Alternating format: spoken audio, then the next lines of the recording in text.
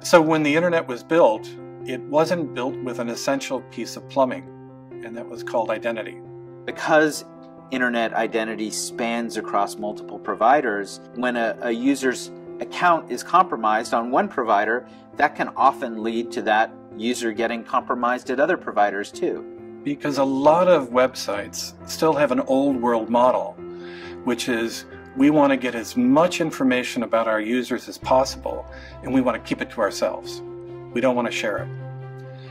And what that does nowadays is set them up for breaches and for a lack of trust with their users. This intertwined relationship between identity and privacy has become much more clear in the last 10 years. You needed to have an identity layer that connected everybody and all these different services and allow them to interoperate. So now we have to retrofit identity standards and systems into the web.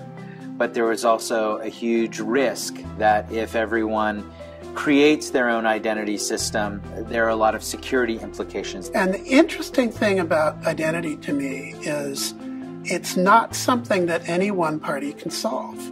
It's that diversity of opinions and experiences in the ecosystem that really brings lots of strength to these standards.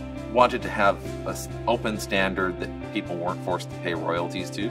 So we have in OpenID Foundation a team of rivals, company to company, but technology to technology and business sector to business sector.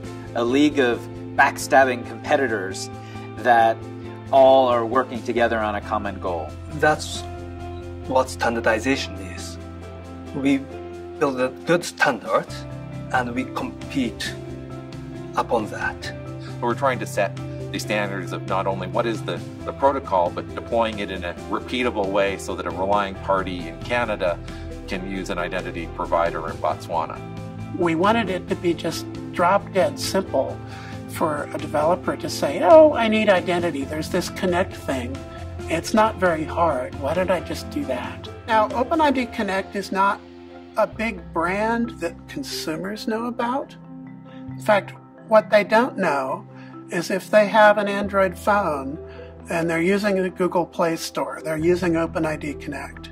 The OpenID Foundation really is a specialized organization that looks at internet identity from the point of view of interoperability.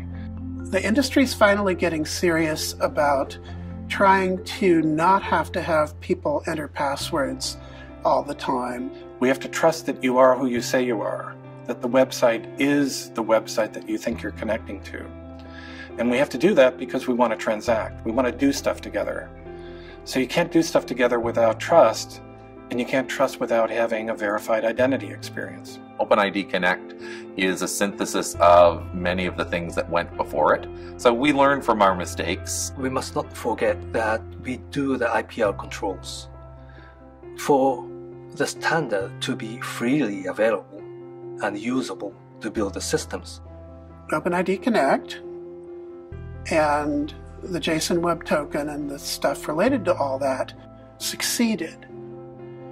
There's a profile being worked on of Connect for government and high value commercial applications. That's important work. So, open standards are really a key for both the users and the providers of identity and other services on the internet. And that's the important role that OpenID Foundation is doing.